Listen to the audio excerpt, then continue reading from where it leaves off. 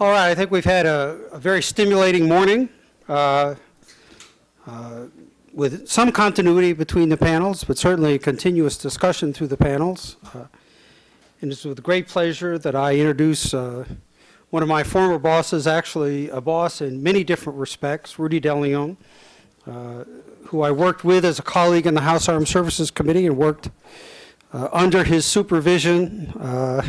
So to speak, uh, at the House Armed Services Committees as well, uh, although I think he sometimes wonder how much supervision I really took during that time. Uh, But then worked with him closely when we came over at the beginning of the Clinton administration, both in the Office of the Secretary of Defense and in the Department of the Air Force. Uh, Rudy is somebody I've learned a great deal from, and I'm very thankful that he's agreed to come here, participate later in the afternoon, introduce Secretary Cohen. Rudy DeLeon.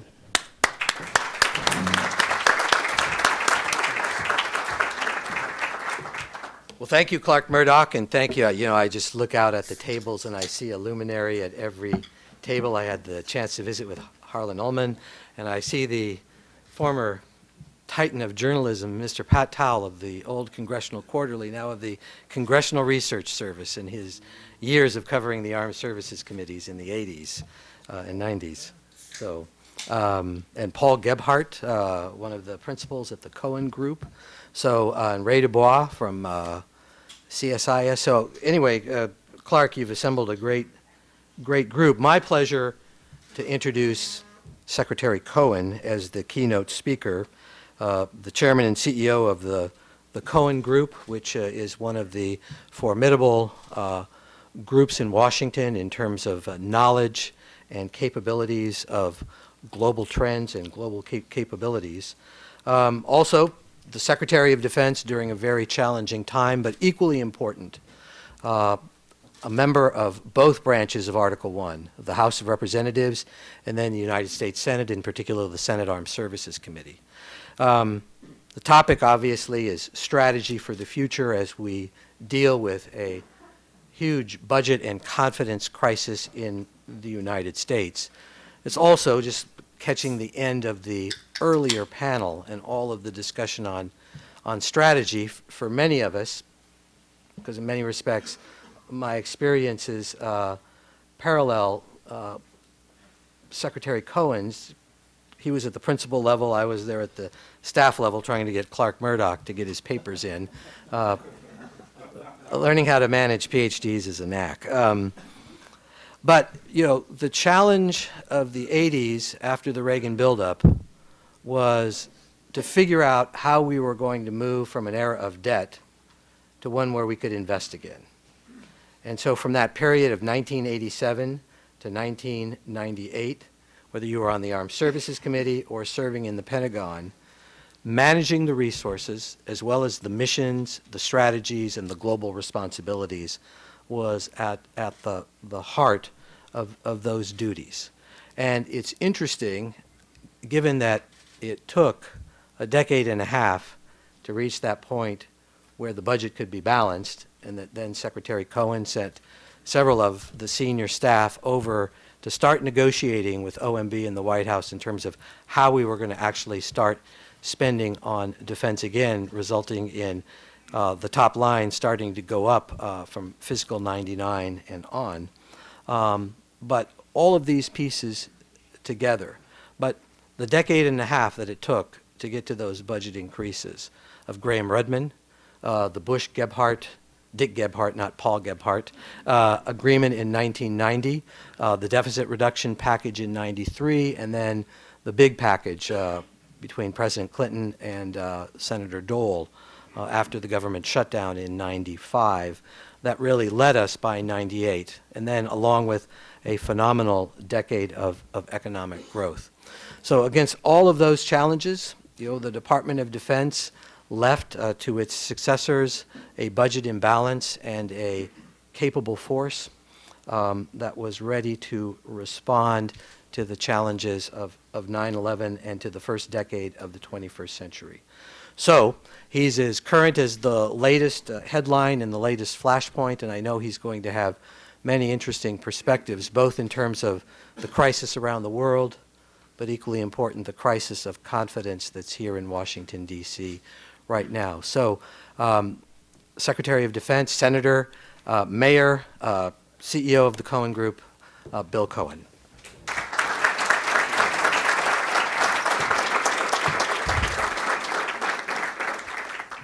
Well, you could tell by Rudy's introduction that uh, he's a master of budgets. Uh, he um, really underplayed his role at the Pentagon um, because he was uh, in charge of crunching numbers, uh, certainly, and then became uh, Deputy Secretary of Defense, who essentially ran everything while I took all the credit for it. So, uh, Rudy, you should be up here talking and not me. I was intrigued with the subject matter, defense in the age of austerity. There have been so many ages that I have passed through. Um, there was uh, Alan Greenspan's uh, Age of Turbulence. Um, there was uh, Joshua Cooper Ramos's uh, book, The Age of um, the Unthinkable. Uh, for me, I go back to uh, The Age of Future Shock. That was really the first book that caught my attention way back in the early 70s uh, when Toffler started talking about this hurricane wind of change that was going to be blowing through the world. And it seemed unlikely at that point, but it has become a reality as we've seen how time has actually been accelerated and speeded up by, by events. Uh, Paul Gebhardt uh, is in the, the room today, and he and Rudy both know I used to keep beside my desk two quotes. I'm going to read them to you because uh, they are still relevant to me. The first quote uh, was um, Our earth is degenerate in these latter days. Bribery and corruption are common. Children no longer obey their parents. Every man wants to write a book. And the end of the world is evidently approaching. And uh, I'd like to say it has a contemporary ring to it, but it was on an Assyrian tablet some 4,700 years ago. Um, next quote uh, that I kept beside me was uh, this one It is a gloomy moment in the history of our country. Not in the lifetime of most men has there been such grave and deep apprehension. Never has the future seemed so uncertain as it does at this time. The domestic situation is in chaos. Our dollar is weak throughout the world. Prices are so high as to be utterly impossible. The political cauldron seethes and bubbles with uncertainty. Russia hangs as usual like a cloud, dark and silent upon the horizon. It's a solemn moment of our troubles, and no man can see the end. Uh, could be in the Wall Street Journal, Washington Times, uh, any contemporary publication that was written in Harper's Weekly in 1897. So I used to keep those by my desk just to try to put some perspective uh, on uh, uh, things that have happened in the past, the anxieties, apprehensions uh, of our forebears, and how we managed to, uh, to get through it all. Something, uh, even though I try to keep that in perspective, something different today. Uh, Rudy touched upon it in terms of, I would say, the three Ds. Uh, you have um, deficits uh, running roughly 1.4 trillion uh, on an annual basis. You have a debt that's 14 trillion, and I think you have dangers that we uh, have not seen before in terms of their uh, complexity and unpredictability. Uh, in fact, uh, when Rudy talks about crisis of confidence, I think we're suffering from a lack of confidence that we have the ability to manage uh, the forces that tend to surface like a tsunami unannounced. And then they, uh, they sweep and overwhelm uh, all of our plans and, apprehen- and assumptions. A quote that I have always kept near and dear to me as well has been that of uh, John Kennedy, because uh, he really was the individual who inspired me when I was a young law school uh, student. And I was thinking about his quote as well uh, and how it applies today. Let every nation know whether it bear us ill, well or ill, that we'll pay any price, bear any burden, endure any hardship, um, defend any friend, oppose any foe in order to ensure the survival and success of liberty. I wonder, could any political leader make that statement today? Is there any presidential candidate that could say we'll pay any price, bear any burden in order to ensure the success of uh, liberty and, and, freedom? So we're living in a time of uh, constraint, uh, as you've called it, austerity. Uh, and the question is, how do we function? What do we do? What's our role? And it's interesting, you're all the experts uh, in the, uh, the audience, and it's kind of difficult for me to be uh, talking to you about what needs to be done. But if you think about it, you can't talk about how to deal with a budget until you decide um, what it is you want to do. Um, what is our role in the world today? What are our responsibilities in this world that is one of turbulence, uncertainty, age of unthinkability, uh, age of, um, of austerity? What's our role? And we have to decide that. Uh, Kennedy said, any, we'll go anywhere, do anything. And now we're saying, uh, different voices saying, um, come home, America. Uh, this is not George McGovern, 1972, come home, America. This is uh, Ron Paul, uh, 2011, come home, America. President Barack Obama saying it's time for the United States to start nation building at home. So we have this notion it's time to come back and deal with problems here. It was interesting because I came from a lecture this morning, or a speech this morning, by one of our colleagues in the Cohen Group, uh, Lord George Robertson. And he was giving kind of an overview of how he thing, sees things uh, in Europe. And he said what's taking place there is rather fascinating because it's the, uh, the renationalization of issues that have no national solution. Something similar taking place in this country, but we're talking about going back to states' rights, for which no state is able to solve the issues. And so there are interesting dynamics underway of talk about the renationalization of issues when in fact there is no nation that can deal with the kind of problems that are likely to confront us. And so we have to decide under these circumstances, who are we? Uh, what is our role? Uh, when I was at the Pentagon, Rudy was there as well, Paul Gebhardt. Uh, Amos Goodman comes later into the Cohen Group in life. But there was a book written by Richard Haass, and it was called The Reluctant Sheriff. And that's pretty much how I saw our role in the world. Be a reluctant sheriff. Uh, have the best military you can, but uh, really choose wisely before you decide to deploy them anywhere. And uh, Pat, you may recall how reluctant I was to get engaged uh, in the Kosovo campaign. I said, over to you, Europe. It's your problem, not ours. And the European came back and said, we can't go without you. You need to lead this particular effort. But I was reluctant. I wanted to be that reluctant sheriff, and we could afford to be at that time. Uh, the, uh, the Berlin Wall was down. Uh, the Soviet Empire no longer existed. Uh, life was a little bit more, uh, was simpler then, so we could be more reluctant. Then came 9/11, and you have a new president. You have a new um, theory, a new doctrine, uh, that of preemption. And so you go from being a reluctant sheriff to almost the Texas Terminator, right? Uh, and uh, that had its consequences, politically speaking, because a lot of countries resented the fact that we were a little bit too big and too, uh, too boastful and too aggressive and too unilateral. So we learned some of the limitations of the exercise of power uh, at, at that point. Now the question is, who are we today? And it's almost, are we a member of an international posse?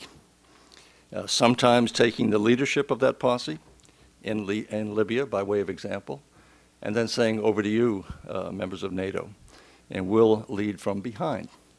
Is that something that the United States is going to do on a more regular basis in the future? What is it we see our role as being uh, in a world uh, in which there is greater and greater turbulence uh, and, um, and, and forces of uh, disintegration in some cases? The point is that we can't walk away from the world. There are those who say, Come home, America, whoever is saying it. We can't walk away from the world because the world's not going to walk away from us. That's simple. We can't retreat to a continental cocoon and think we can watch the world unfold on CNN and think we're safe. So we have to be engaged. That's a word we like to invoke. We have to be engaged. Um, uh, Amos, you came up with a, a nice quote for me uh, today. Uh, uh, uh, I think it's uh, ubique and uh, tango. We like, we like Latin phrases in Maine. Uh, Dirigo, I lead, is the state motto. This one is, I touch everywhere. Uh, and we had that philosophy as well. Um, and we want to be forward deployed. Booty will tell you we had three mantras at the Pentagon shape, respond, prepare. Shaping was critical. We tried to be forward deployed in as many places as we could in order to try and shape events in ways that would be advantageous to the United States. Having a presence is really important. And when you pull that presence away, uh, some bad things can happen. On a domestic level, think about it, because one of the recommendations is going to be to consolidate bases. That's one thing we can do. We got 10, 15% overhead out there that we still can consolidate more bases. There's a, an efficiency aspect to that. There's a money-saving aspect to that. Uh, but there are political consequences that go with that. I happen to have represented the state of Maine, and I saw Dow Air Force Base leave Bangor. Uh, and uh, we had Loring Air Force Base up in uh, northern Maine. What happens when you have the uniformed military that departs from your community, and they are very valuable members of that community. They attend the Lions clubs, the Rotar- Rotarian clubs, etc. They are part of the community. And when you remove them, guess what happens? The public doesn't see them. The public thinks of other issues. They no longer think about defense. How many times have you heard any debate take place in Iowa uh, on the size of the defense budget? Not many, because it's not an issue for them. And so uh, there are political consequences to shrinking back, pulling back, consolidating. You can do it for efficiency, but you have to then think about what are the consequences. And we have to think about this as well as we look for ways to live in this age of austerity and look at the choices we have to make. Uh, understand that there are consequences. I could go on and tell you, for example, uh, Secretary Gates was in Singapore in um, June of this year just as he was in June the previous year. Interesting, uh, if you were to look at the coverage back in June uh, 2010 and June 2011. June 2010, he was uh, publicly decrying what had taken place. The Chinese had canceled uh, his visit as a protest of the arms sales to Taiwan. Uh, very kind of acrimonious uh, sentiment at that time between the Chinese and the United States. he was there this year in June, and we were making very positive overtures to the Chinese who were also there at that conference. Uh, but the whole notion was at that time uh, that we want to be engaged in ASEAN, in the um, Asia Pacific region. And Secretary Gates said to the skeptics in the audience, he said, I will predict to you that five years from now we'll be even more heavily engaged throughout the Asia Pacific region. To a number of skeptics in the audience saying, hmm, interesting. Let's take a look at your budget and tell me how you're going to accomplish more engagement in, in the ASEAN countries. Now, and, and I'll get to that uh, in a moment. But I think as we look at this and we say, well, how do we do all of this? QDR has always been important. Uh, we try to look into the future and say, what, uh, what are the threats out there? And if we can see these threats, uh, how do we shape our forces? What is the force structure? What are the end strengths? What, we, what is it we need in terms of equipment to deal with these threats that are coming at us? those that we can identify and those that we have to try and anticipate to make sure that there are not too many black swans uh, out there that are coming at us that uh, we haven't uh, foreseen. We've got a roles and missions study underway. Uh, that will be important as the Magnificent 12 up on the Hill, uh, the special uh, select committee has to decide how they're going to allocate these reductions. If we look at the Middle East, again, the world has changed rather dramatically. We had one uh, individual set himself on fire and it lit a fire that had spread throughout much of the Middle East. The Middle East is going to be different from now on. We're not going to have uh, as friendly uh, a closer relationship, I suspect, with Egypt as we had in the past. Uh, the same is true perhaps for some of the other uh, countries in the region. The world is changing over there rather dramatically. What does that mean for us? Uh, what does it mean in terms of the stability of the region?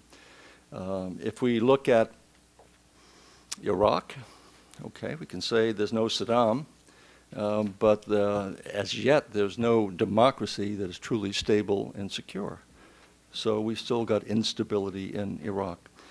Afghanistan, Al Qaeda is on the run, but they're still out there, and they're, they're, they're out there uh, and on the run as long as we're there. We have some 80,000 troops uh, that are committed to Afghanistan for at least according to the president's timetable, 2014. So yeah, things are okay as long we're there, as we're there, but that may change. Pakistan is a democracy that is fragile, increasingly under assault from within. And then there is Iran, which has, uh, is on its way to a, a, nuclear capability. And what does that mean in terms of stability in the region? So that's a region that we have to focus on, saying, well, what are what will be our access uh, to the region, both uh, from a military point of view? Uh, will we still continue to have uh, major exercises uh, each, well, every other year in the, with Egypt and others? Will we have access that we've had in the past, political access as well? So we have to take into account that the world has changed in the Middle East. One of the biggest changes, of course, is China. And China has emerged. I can tell you I started going to China back in 1978. And at the time I went there, they had one hotel and they had no cars. Uh, So you're looking at a dramatic, uh, probably the most dramatic uh, transformation of a society in the shortest period of time in the history of mankind. Uh, And at that time, I met with Deng Xiaoping, and he talked about his four modernization programs, and he put uh, military last. Said, we'll get to that last. Well, last is now here. Uh, And so uh, they um, are feeling much more confident about their role in the world. Uh, Many feel that the 21st century will be theirs, and that the, uh, they are on the ascent, and the United States are on the decline. Uh, And so that's an, uh, a, uh, an issue which we can contest in terms of the reality of it, but it's something in terms of a growing sense of national pride, nationalism, uh, and a growing military capability to match their economic uh, power. So it's going to present some challenges, as we now know that the Chinese have indicated the South China Sea is theirs. It's their exclusive jurisdiction, and we are not to intervene in any way. So now you have the great irony. Vietnam has called upon the United States to help out, resolve the issue with the Chinese. And the Chinese have said, thanks very much, but stay out of it, it's none of your business. So we have an issue in which China is likely to develop.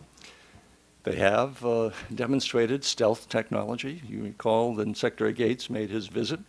It was uh, purely co- coincidental, I'm sure, that they, uh, they hauled out their, their latest or their, their only version of a uh, stealth uh, fighter. But it's coming. It's coming. They'll have stealth technology. They, they have acquired a, an aircraft carrier, not capable uh, as, as ours to be sure, but it is symbolically very important for the region. Uh, to say that they're going to develop a power projection capability. Uh, and uh, just that one aircraft carrier alone tells the, the rest of the, uh, the world in that region uh, that they're going to be a, an a military power as well as an economic power. And I'll come back to ASEAN, uh, as I mentioned. Uh, I was there with Secretary Gates and conducting a series of meetings. I, along with Hank Greenberg, are co-chairing a study that has been commissioned by CSIS is to talk about the relationship between the United States uh, and the ASEAN countries. And to put it uh, shorthand, uh, all of the ASEAN countries are doing an enormous amount of business, tremendous trade with, with China, and that is likely to increase. I think it's fair to say there's also enormous apprehension on the part of all of the ASEAN countries that China is going to dominate uh, the region. And they would like the United States uh, to basically be a security blanket basically say that, you know, we, we need you. We need you to be engaged. We want you to be engaged not by establishing bases, uh, perhaps by paying more port visits, but having a stronger uh, relationship across the board, not simply military, but diplomatic, economic, culturally. They want us engaged, not to the point that we annoy or agitate the Chinese, but that's a strict, pretty tight balance that we've got to maintain. Uh, and it's a hard argument to make to Capitol Hill saying, you know, we're going to commit resources to a region, uh, but we can't really be too aggressive uh, because that will be contrary to their interests and ultimately to ours. So a lot of diplomacy is going to go into this effort because the Chinese are rightfully going to say we're an economic power, we're entitled to have a military to protect it, uh, and we're going to do so. Uh, and so we have to take that dynamic into account. I pass over Russia. Um, uh, Russia, uh, we're likely to see the, re- we know we're going to see the reemergence of uh, President Putin. Um, uh, we've tried to recalibrate uh, and restart this relationship with, uh, with Russia um, through the Obama administration. And perhaps it will improve, but I think that they are unlikely to be a close ally or friend of the United States in the immediate future. But there are issues that we can work with the Russians on, we'll have to work with the Russians on. And I think that President Putin is going to continue to insist that he is going to be, and Russia is going to be a player on the geostrategic uh, landscape. So what is the world looking like then? Middle East, a lot of change. ASEAN, the whole Pacific uh, um, uh, area, uh, China is likely to be a, a major player. And so we have to be concerned about what Joe Nye wrote about. Remember, Joe Nye wrote the book, The Paradox of American Power? Namely that when one country uh, displays uh, or exercises power, uh, to a point where even your friends or your allies will align themselves in ways that will restrict the exercise of that power. Um, the Chinese have, have to face that as well. They are becoming more powerful, but they've got to be careful they don't show that power uh, too much or too eagerly. Now, I'll give you an example of that. You recall when the Japanese had uh, arrested the captain of a fishing trawler that had rammed one of their boats? Uh, I happened to be over in Tokyo during this time, and the Chinese demanded his release, and the Japanese said no. And the Chinese said, We're asking you again. They said no. And then finally, there was somehow a shortage of rare earth minerals being shipped uh, to Japan. And the Japanese said, Here's your man. Now, that was a very embarrassing moment, embarrassing for the Japanese.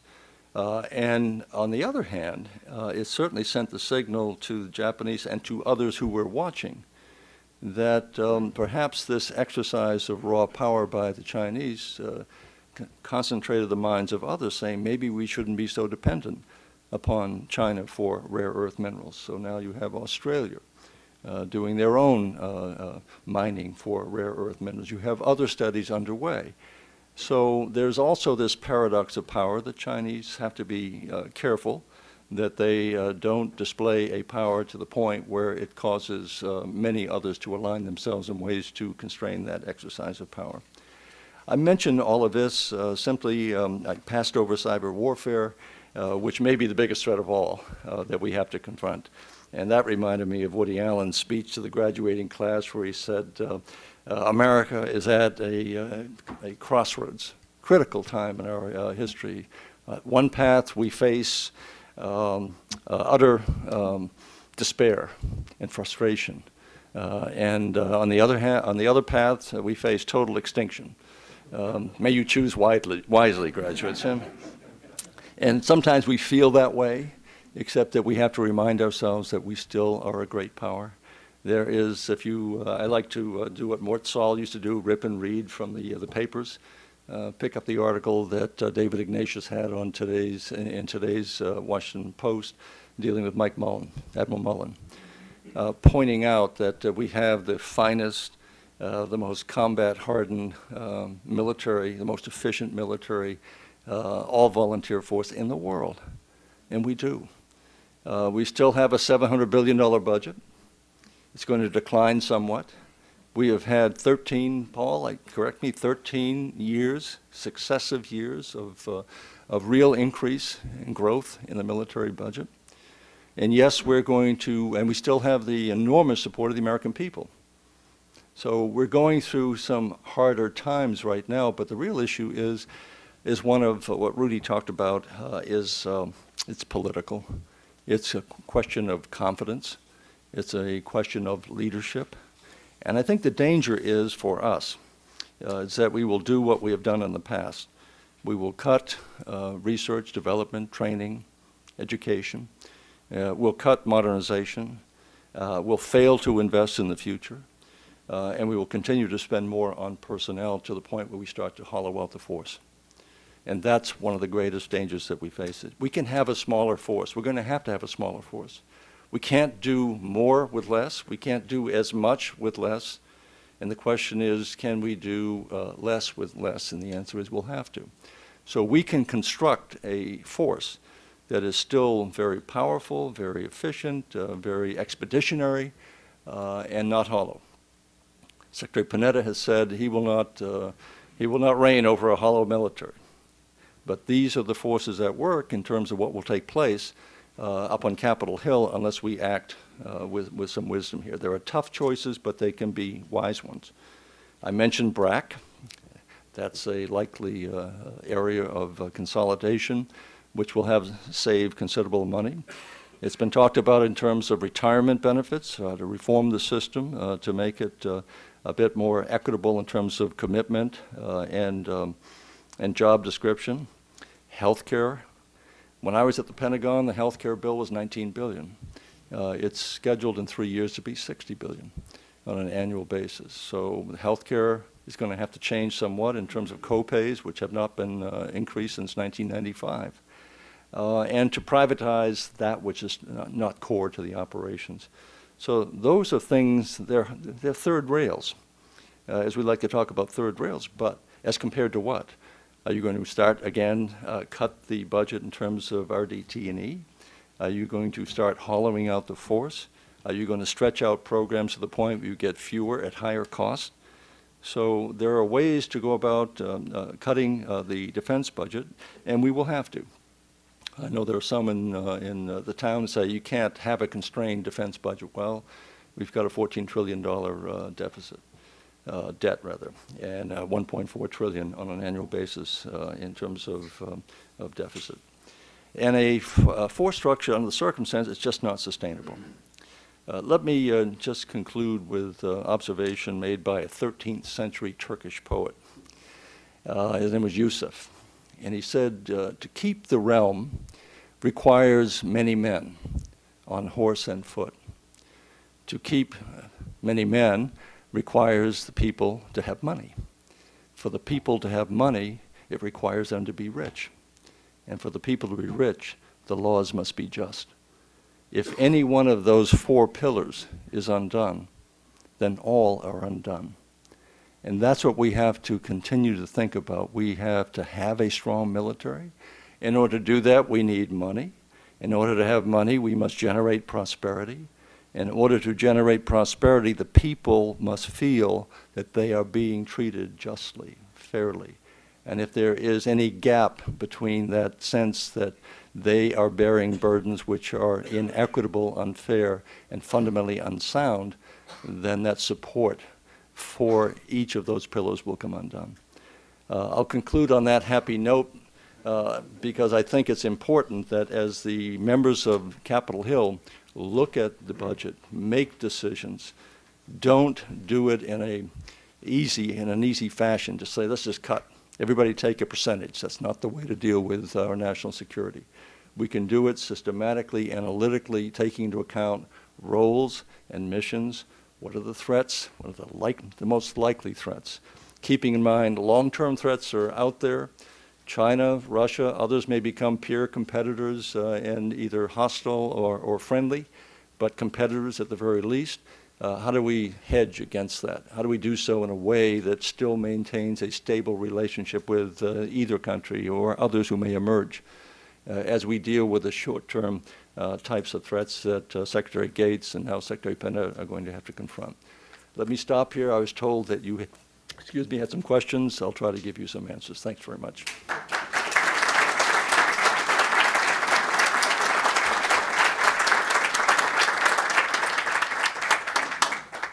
We have time for a few questions. Pat? I refuse to answer that uh, question on the grounds that Thank you, Mr. Secretary. It's very good to see you. Uh, Let's go to those, those third rails. You presented them sort of like Woody Allen's dilemmas. You know, we can do something about retirement or hollow out the force, and then choose wisely. Is the, you know. Now, you've been away from electoral politics longer than I've been away from journalism. That's hard to remember. Uh, but you played at a very high level, very effectively for a long time.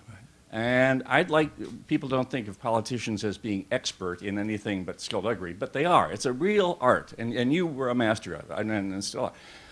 Is there some way, let's just take retirement and health care. Is there some way that either of those, you can construct a scenario that either of those could be approached in a constructive and, and practical way, where you don't just, you know, roll the dice and hope that people choose wisely? Yeah. Well, it really comes down to, uh, easy word, leadership. If you have leaders who are willing to go out and to talk uh, to the troops, and I'm talking about at all levels, not just dictating it, get the Joint Chiefs on board, let's go. Uh, We can talk to uh, the Budget uh, Committee up on Capitol Hill, and we got OMB signing off. That won't do it, because the, uh, the leaders in the military say, well, wait a minute, uh, that's a real disincentive. If we don't explain what we're doing, if we don't have buy-in uh, by the uh, people most directly affected, uh, some will choose to leave, but morale can turn very quickly. So making sure that you sustain morale is going to be critical to making sure you don't have that hollow force. And so I think it really depends upon um, leadership. Admiral Mullen uh, on the don't ask, don't tell He was very forthright, pointed out in uh, the Ignatius piece today. Didn't flinch, went straight ahead on it, but he said, let's take the year to go out and, and um, deal uh, with our troops in the field. Give us a year to see if we can make this work. And I think if you go out and you explain to our military, look, these are the choices that we face. Would you rather uh, pay a little more in terms of your premium if it means sustaining uh, our healthcare system for our military? If it means it's going to uh, uh, put you and your family in a position, yeah, it'll cost you a little bit more, but just look at what, if you didn't have this, look what's going on in the private sector. So you can do that if you really engage them, if you really go down and work from the top level right to the, uh, to, to the sergeants who are out in the field with them. That can be done, and I'm, I'm convinced that can be done. If you stay away from it, much as you can when you're dealing with Social Security, you can't raise Social Security. Um, I think you can. I think you can even start talking about uh, means testing these programs. I think we're getting to that point where we say, here are our choices, here's the dilemma. If we don't take this action, these are the consequences. And if you start talking to the American people and doing it on an educational basis, I think you'll find them uh, uh, willing. If you just want to throw red meat, you can do that. I mean, I, I, I mentioned this uh, the other day. I said, when I, when I went uh, back to Maine to, uh, uh, to meet with my constituents, let's say farmers up in northern uh, Maine, some of my staff members, I had younger ones at that time who were with me, they said, why are you reciting T.S. Eliot? and I said, look, I'm going to give the same speech in northern Maine to my potato farmers that I'm going to give to CSIS down here in Washington. And what I found was people want you to lift them up, lift their spirits. Don't underestimate them. Don't talk down to them. Uh, don't think that all you have to do is throw uh, red meat to them on any given issue. If you uh, want to reason with them, saying, "Here, look, here's my problem. Uh, uh, can you help me out? Here's a solution here. What do you think?" So if you engage them at that level, I found it very successful for me over a 24-year period of time. Uh, and uh, I, I, I, was with a group yesterday talking about how do you get civility back into our political system. In the, all of the years I was in politics, I never once faced a negative campaign. Never once had an issue of incivility. Now, that was then, this is now. Life has changed 24 and 7 on cable shows, etc. But I think uh, we do a disservice to ourselves when we don't go to people and explain the hard choices they had to make and ask them to participate, to say, you know what made this country great? Uh, that we were willing to uh, share uh, the pain as well as the opportunity. There's a great quote from Walter Lippmann I used to use in some of my, uh, my commencement speeches. And uh, Lippmann went back to his 30th uh, reunion class of 1910 at Harvard. And he went to his former colleague, he said, you know something, every time we had a tough decision to make, we took the easy way out. He said, following World War I, what did we do? We cut our defense, we started passing the, uh, the bubbly around, enjoying life, and then what happened? We knew there was a mechanized evil over there in Europe, and we ignored it. And then we had to pay a price. He said, this is the standard to which the wise must now repair. You took the good things for granted, and now you must earn them again. For every right that you cherish, you have a duty you must perform. For every uh, good that you uh, wish to achieve, you have an obligation you must perform. Uh, and for every hope that you have, you must sacrifice your comfort and your ease because there's nothing but nothing any longer. Boy, those were tough words. They were true then, they're true now. And I think if you talk to people at that level, you'll get a response.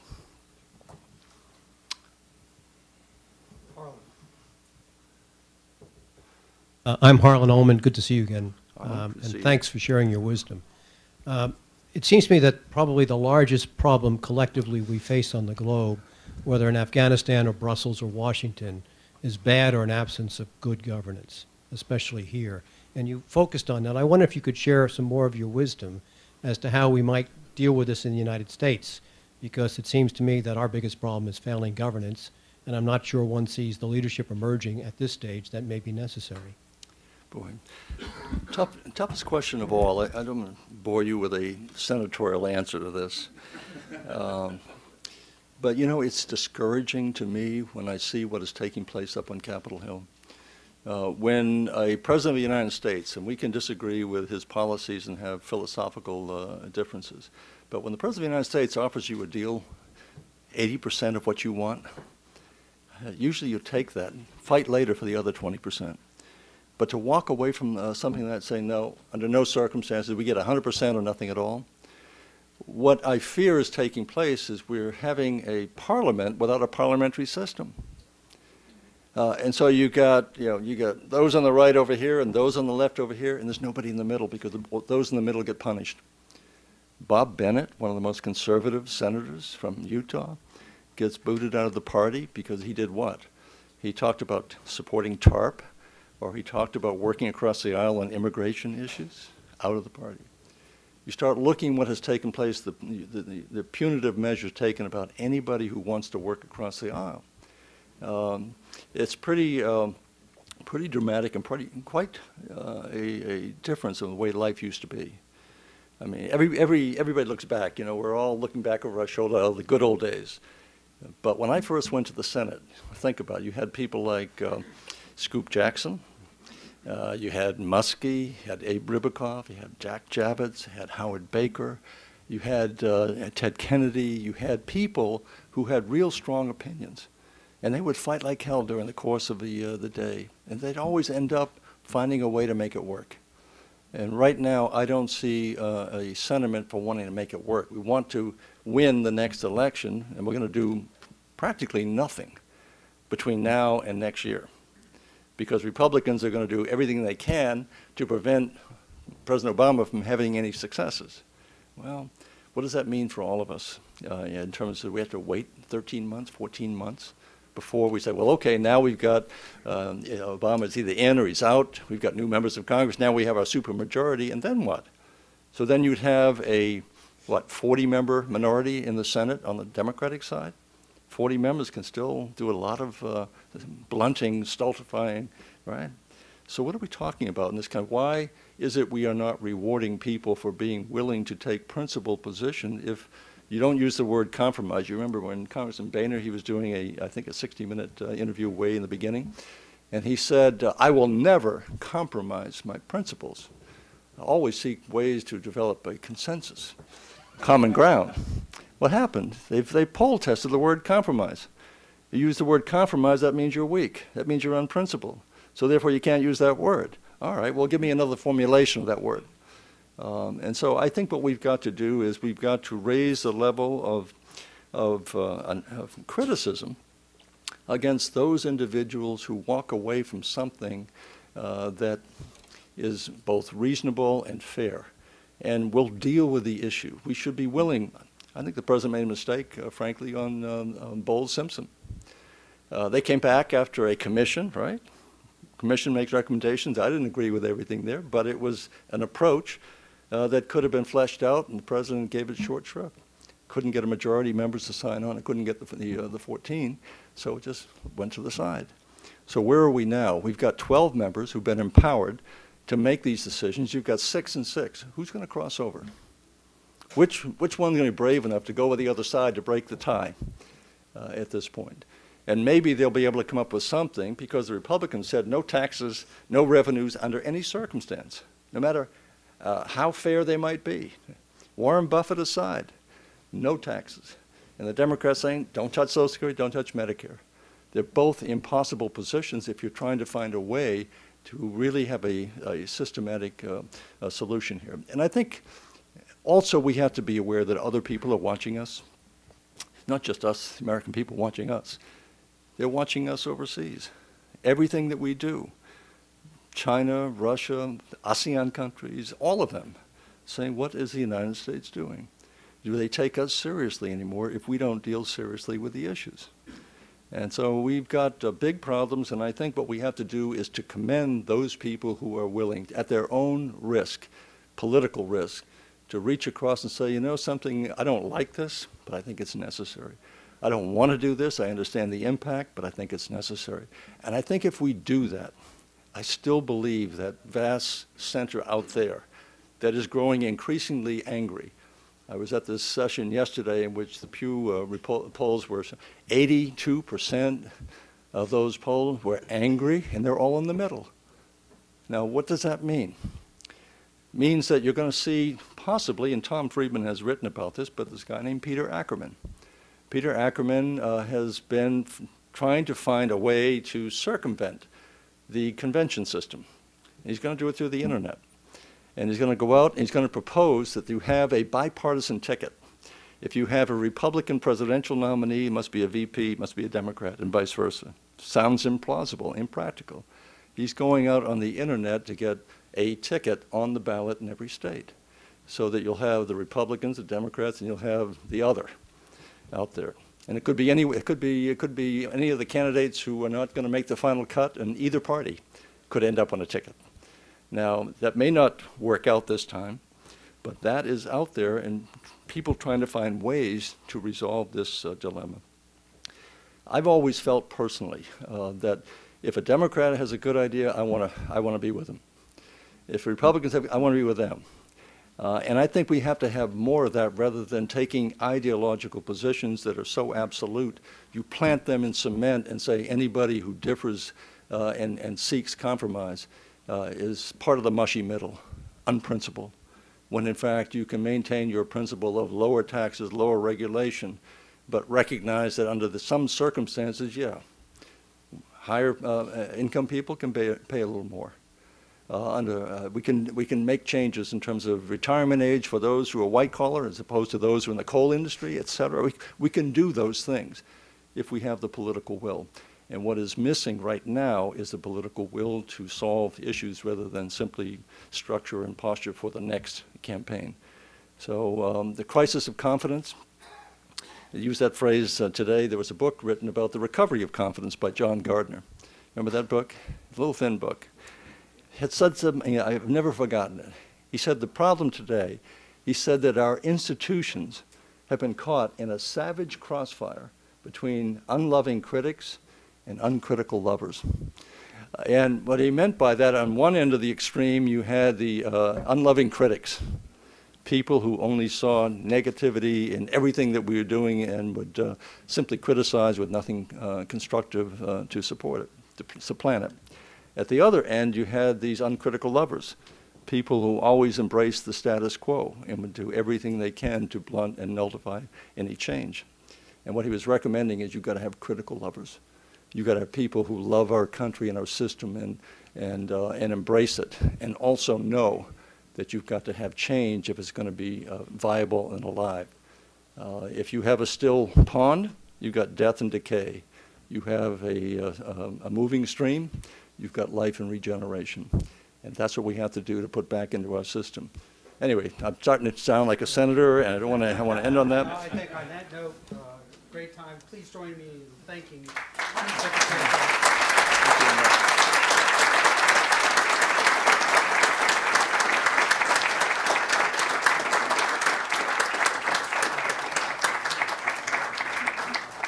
take a quick five-minute break. If people could take their plates and put them in the back, and the next panel could come up here and assemble, and we'll get started in five minutes.